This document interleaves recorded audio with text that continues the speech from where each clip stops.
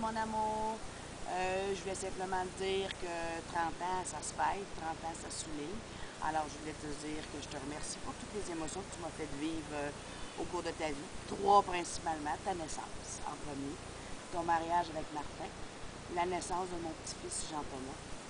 Et puis, je voulais te dire que je suis très fière de la femme que tu es devenue aujourd'hui. Alors, joyeux 30e, mon amour.